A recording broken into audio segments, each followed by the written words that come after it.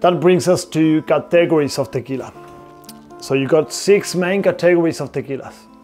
You got blanco, reposado, añejo, extra añejo, cristalino, and mixto. A blanco can be bottled straight from the distillation, or you can age it up to three months. After three months, that's called a reposado. A reposado can be aged between three months and 11 months. A añejo can be aged between 11 months and three years. An extra añejo can be aged between three years onwards.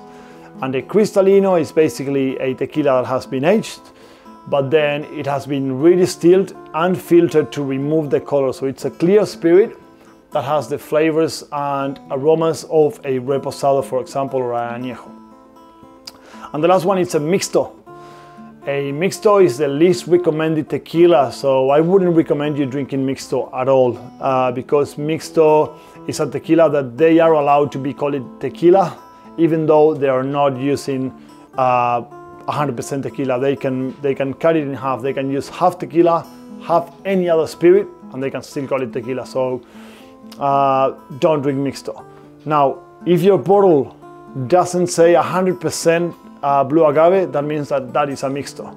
Okay, a mixto will not say mixto on the bottle, but a premium tequila will say 100% blue agave. So check your bottles, check what you're drinking, be smart about it, because if not, you will be, you will be drinking very poor quality tequila. Now, apart from the categories, you also have two predominant areas uh, to grow up the agaves. You got the highlands and you got the lowlands. The lowlands are not really lowlands, they are still quite high. They're about 2,000 meters above the level sea, so the, the sea level, so it's still high. What means is like you got some valleys that are a bit higher than the other ones, that's all it is.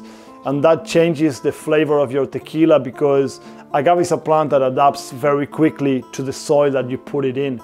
So the, the highlands will be more, it will be a more volcanic soil and that changes the flavor of the agave. Usually uh, tequilas from lowlands will be more herbal, will be more earthy, more punchier, while tequilas from highlands will be smoother, sweeter, fruity.